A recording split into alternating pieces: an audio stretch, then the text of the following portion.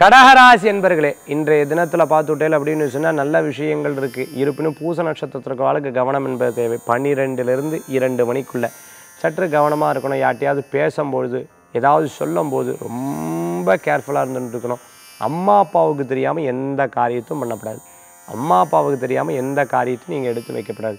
ரொம்ப கவனமாக ஒரு விஷயம் நமக்கு ஏதாவது ப்ளஸ் அண்ட் மைனஸ் இருந்தாலும் அது பொன் குழந்தைகளாக இருந்தாலும் சரி ஆண் குழந்தைகளாக இருந்தாலும் சரி ஏதாவது ஒன்று விஷயம்னா உடனே அம்மா அப்பாட்ட சொல்லணும். அம்மா அப்பாவை மாதிரி நம்ம ஒரு பாதுகாக்கிறவங்க யாருமே கிடையாது. அது எத்தனை வயசானாலும் சரி அவாட்ட சொல்லிவிட்டு அவள் சொல்லக்கூடிய அறிவுரையில் எடுத்து பண்ணோம்னா நிச்சயம் நல்ல பலன்கள் கூடி வரக்கூடியதாக இருந்துருக்கும் தொழில் சம்மந்தமாக பிஸ்னஸ் சம்மந்தமாக ஒரு நல்ல விஷயம் சம்மந்தமாக ரொம்ப குழப்பம் இருந்தவா சுவாமிகிட்ட பூ போட்டு கேட்கலாம்.